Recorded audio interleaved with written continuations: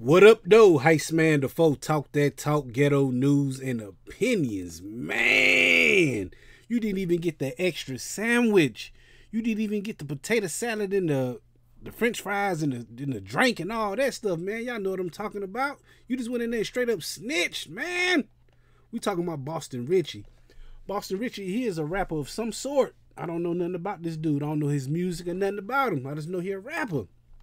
He been exposed by this guy right here named 1090 Jake. I think he a content creator or YouTube lawyer, something to something to something to something. I don't know. But he had this dude audio and footage of this guy, Boston Richey, inside of the um, interrogation room. And when I say that dude was in there singing, that dude was in there singing. I'm talking about he told on everybody and everything. Some of the things he said in there. I'm talking about I wrote him down, man. Some of the people he was talking about. I got it right here, man. He talked about Eddie. He talked about Wig, Miami, Quint or Quentin. Boom Boom. She was a trick. She seen it. He know she be tricking that. I'm talking about the white Buick. Um, the third house on the white on the right. Um, around the turnabout. I'm talking about this dude was telling everything. Lexus sister, D Block, Joe Lewis. I'm talking about that dude was in there snitching. I guess it's snitching. I mean, he did tell on a lot of people. He said a lot of people names. Like he was in the interrogation room, just sitting there, like telling everything. I don't know nothing about this.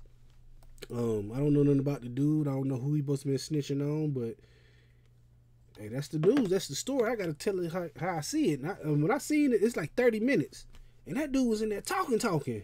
I'm talking about, you know.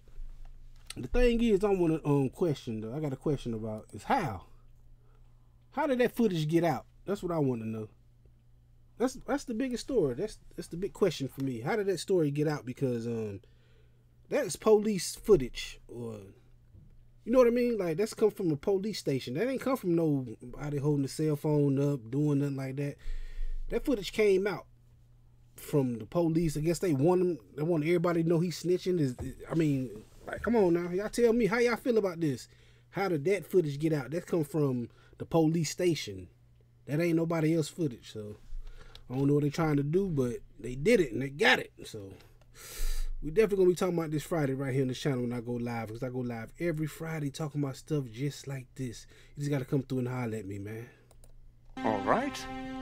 This time, but I'll be back, and sooner than you think.